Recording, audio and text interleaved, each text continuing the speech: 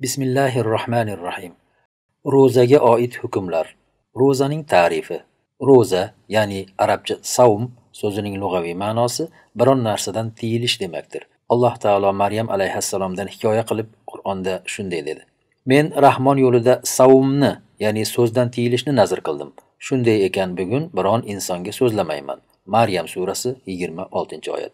Shariatda ro'za tushunchasi subhi sodiqdan to quyosh botgunga qadar yeb ichish va shahvatdan tiyilish bilan Alloh taologa ibodat qilishdan iborat. Ro'zaning fazilati Abu Hurayra radhiyallohu anhu dan rivoyat qilingan hadisda Rasululloh sallallohu alayhi vasallam shunday deydilar: Alloh azza va jalla dedi: Odam bolasining barcha amali o'zi uchun. Bundan ro'za istisno bo'lib, u faqat men uchun. Ya'ni uning tutgan ro'zasida riyo yo'q. Bu ro'za ajr savobining miqdori faqat mengagina ma'lum. Va uning evaziga o'zim mukofot beraman. Ro'za qalqondir. Agar birontangiz ro'zador bo'lsa, behayo so'zlar gapirmasin, talashib tortishmasin va baqir-chaqir qilmasin. Bordiyu birov u bilan so'kishsa yoki yoqalashmoqchi bo'lsa, u holda men ro'zadorman desin. Muhammadning joni qo'lida bo'lgan zotga qasamki, Ro'zador og'zidan tarqagan yoqimsiz hid Alloh nazdida mushk hididan xushbo'yroqdir. Ro'zador uchun ikkita xursandchilik bor. Biri og'iz ochganda xursand bo'lsa, ikkinchisi Rabbiga yo'liqqanda ro'zasi bilan xursand bo'ladi. Buxoriy, Muslim va boshqalar rivoyat qilishgan. Sahl ibn Sa'd radhiyallohu anhu dan rivoyat qilingan hadisda Rasululloh sallallohu alayhi vasallam shunday deydilar: Jannatda Rayyon degan bir eshik bor. Qiyomat kuni undan faqat ro'zadorlar kiradilar. Ulardan boshqa hech kimsa bu eshikdan kirmaydi. Qiyomat kuni ro'zadorlar qani deyiladi. Shunda ro'zadorlar o'rinlaridan turadilar. Bu eshikdan ulardan boshqa hech kim kirmaydi. Ular kirib bo'lgach bu eshik yopiladi va boshqa hech kim kirmaydi. Ibn Huzayma keltirgan bir rivoyatda shunday deyiladi. Ularning oxirgisi kirib bo'lgach bu eshik yopiladi. Kirgan odam suv ichadi. Suv ichgan kimsa aslo chanqamaydi.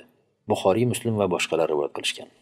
Abdulloh ibn Amr roziyallohu anhu rivoyat qilgan hadisda Rasululloh sallallohu alayhi vasallam shunday deydilar: Ro'za va Qur'on qiyomat kunida bandaga shafoat qiladi. Ro'za deydi: Ey Robbim, men uni taom va shahvatdan man qildim. Shunday ekan, meni unga shafoatchi qil. Qur'on deydi: Men uni kechasi uyqudan qoldirdim. Shunday ekan, meni unga shafoatchi qil. Rasululloh sallallohu alayhi vasallam aytadilar: Shundan so'ng ikkisi shafoat qiladi. Sahih hadis Imom Ahmad va boshqalar rivoyat qilganlar. Abu Said hudriy roziyallohu anhu dan rivoyat qilingan hadisda Rasululloh sallallohu alayhi vasallam shunday dedilar: Qaysi banda Alloh taolo yo'lida bir kun ro'za tutsa, albatta shu bir kunlik ro'zasi tufayli Alloh uning yuzini 70 yil do'zaxdan yiroq qiladi. Buxoriy, Muslim va boshqalar rivoyati. Ro'zaning fazilati to'g'risida bundan boshqa ham talay hadislar mavjud. Ramazon oyi ro'zasining fazilati. Yuqorida aytib o'tilgandan tashqari, xususan Ramazon oyi ro'zasiga oid ayrim fazilatlar bor. Quyida shulardan ba'zilarini zikr qilamiz. Abu Hurayra radhiyallohu anhu dan rivoyat qilingan hadisda Rasululloh sallallohu alayhi vasallam shunday deydilar: Kimda kim Qadr kechasini haq ekaniga iymon bilan va xolis Allohdan ajr umid qilgan holda toat ibodat bilan o'tkazsa, o'tgan gunohlari mag'firat qilinadi. Buxoriy, Muslim va boshqalar rivoyat qilganlar. Abu Hurayra radhiyallohu anhu dan rivoyat qilingan boshqa bir hadisda Rasululloh sallallohu alayhi vasallam shunday deydilar: Ramazon oyi kelsa, jannat eshiklari ochiladi, do'zax eshiklari yopiladi va shaytonlar zanjirband qilinadilar. Termiziydagi boshqa bir rivoyatda shunday qo'shimcha qilinadi va bir jarchi farishta nido qiladi: Ey ezgulik, ya'ni ajr savob istagan kimsa, toat ibodatga kelib qol.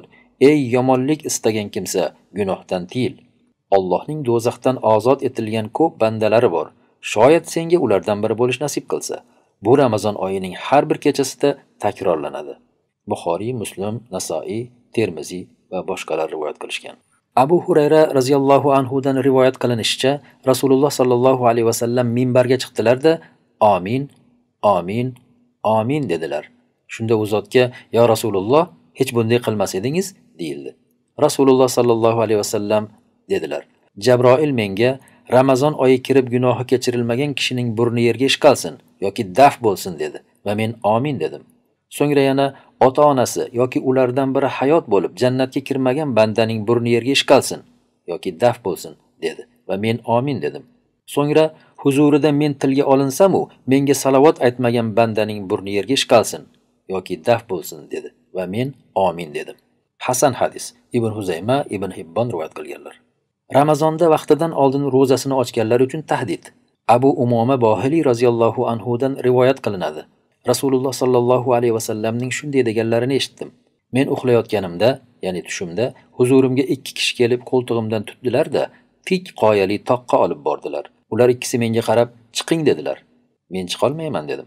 Biz sizga chiqishni osonlashtiramiz dedilar va men chiqa boshladim. Tog'ning yarmiga yetib borganimda qattiq baqir chaqirni eshitdim. Bu qanday ovozlar? dedim. Bu do'zax ahlining baqiriqlari dedilar. So'ngra toqqa chiqishda davom etdik.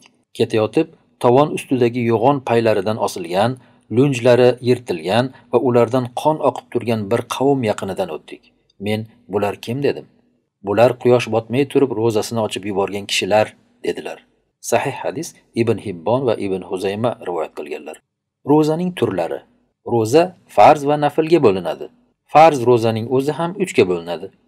Birinchi zamonga bog'liq bo'lgan ro'za masalan ramazon oyi ro'zasi. Ikkinchi biron sababga bog'liq bo'lgan ro'za masalan kafforat va qazo ro'zasi. Uchinchi inson o'ziga o'zi farz qiladigan ro'za masalan nazr ro'zasi.